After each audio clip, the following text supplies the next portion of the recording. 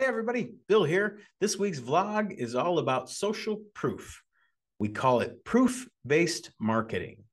If the world says it's so, it must be so. If we as business owners or professionals say it's so, it's likely met with great skepticism. You see, you just can't edify yourself. So I have developed my top 10 best ways for you to establish trust, use social proof, and proof based marketing to get your message across even better. Here we go. Number one reviews and testimonials. This is special here at Reputation Sensei. Obviously, this is the foundation for which everything we do here is built. And that's because we believe that if the world says it so, it must be so. And 93% of consumers take into consideration reviews and testimonials before they take action or make a purchase. So, obviously, number one for me, reviews and testimonials leveraging the voice of your customers, clients, or patients because your business is not what you say it is, but rather what your clients, customers, and patients say that it is. Number two, data. We live in a day and age where data is king. We want data everywhere. We have data in our sports, we have data in our investments, we have data in our dating.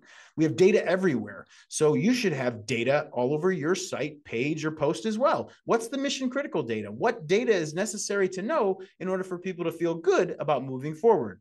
That's social proof as well. It also establishes transparency. This is how many people we serve. This is the success that they generate. This is their overall satisfaction. This is what they said in surveys.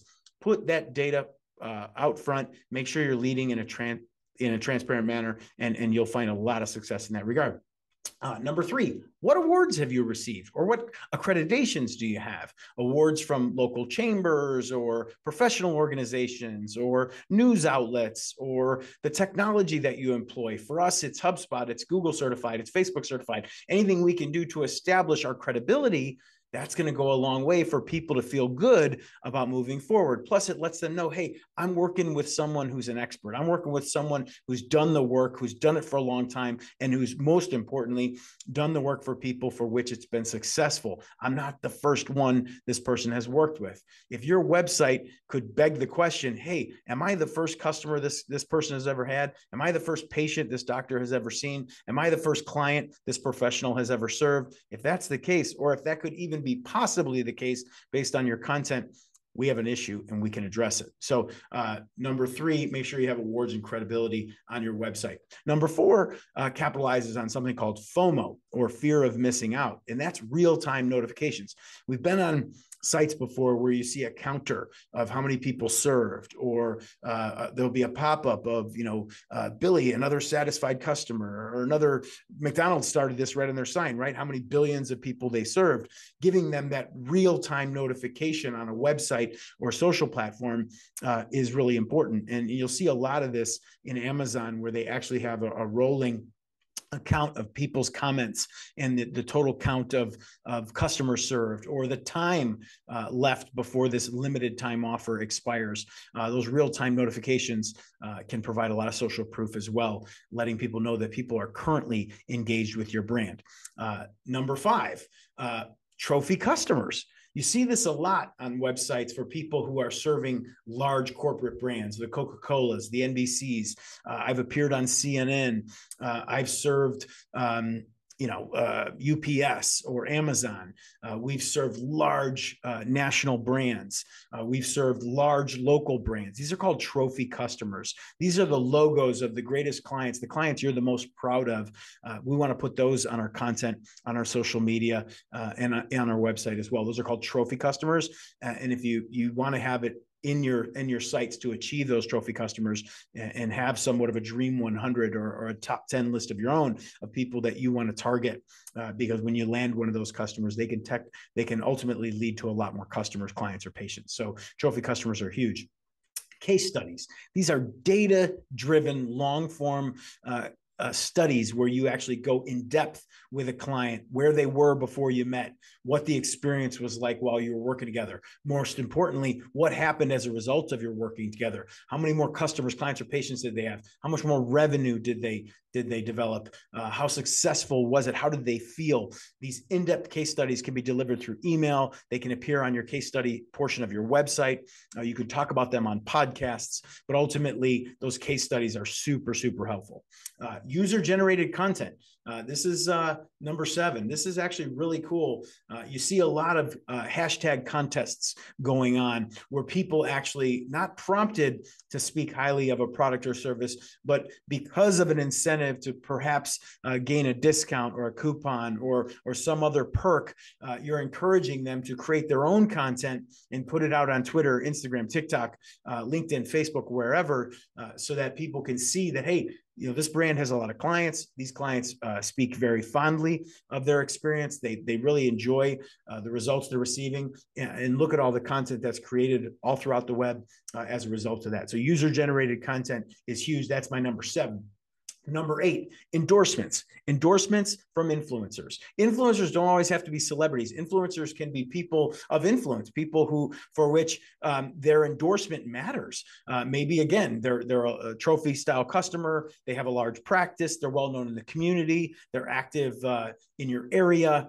Uh, they have a, a large following. Uh, it could be a target uh, of your of your uh, demographic uh, targeting, where you know it could just be you want to you want influencers or endorsements from mothers if you're a pediatrician and and you want to attract more new or, or, or, mothers or, or more kids. obviously, the pediatric decision is made by the family. So if you have people in the area that have large families, healthy families, happy families, those types of influencers or endorsements are going to be important. Um, and then highlighting popular choices helping people to say, hey, most of our customers go with this tier. Uh, most of our customers like this, or a lot of our customers that chose this also like that. Uh, helping people along the line, showing them that, hey, based on our data, based on all the business we've done, all that social proof, we know people like you select these items uh, and they like it an awful lot. So popular choices uh, go really, really far uh, in establishing social proof. And finally, and probably my favorite and the most underutilized of all social proof, in my opinion, press, earned media. What have you done within your community to attract the attention of, of your local paper or your regional paper? Or have you appeared as an expert, um, you know, commentating on some issue of the day on a morning show, an afternoon show, a lunchtime show? Uh, are you a guest on someone's podcast? Uh, have you written articles that were published on Forbes or Inc. or, or, or the paper? Are you active in your chamber? Uh, are there other people out there of influence, journalists, credible people citing your studies, uh, your efforts uh, in, in, making their case for whatever story or impact they're trying to, to create? Uh, press earned media, in my opinion, far there's so much further we can go to make that uh, a real a real difference maker in your practice. So earned media, and and if you can uh, just an extra tip, if you could find a way to align some of your philanthropic efforts, some of your corporate social responsibility efforts, uh, some of your uh, diversity and inclusion efforts, some of your community activist act, uh, efforts, some of your church efforts, any of the the overarching um, you know public service type efforts that really matters especially to younger consumers today uh, where they feel like when they when they cast a vote for the company they want to do business with they're not they're casting a vote with their dollars but what they're really saying is i'm aligned with the type of business that this company represents i'm aligned with the values uh, that this company displays uh, and there's no better way to exemplify that and attract a lot of action than through earned media or press. So again, go through number one, reviews and testimonials. Number two, data and numbers. Number three, awards, accreditations. Number four, real-time notifications. Number five, trophy customers. Number six, case studies. Number seven, user-generated content. Number eight, endorsements from influencers. Number nine, popular choices. And finally, 10, press and earned media. Those are my top 10 ways that you can win with proof based marketing, social proof, and trust triggers. I'm Bill. Hope you enjoyed this one. Signing off.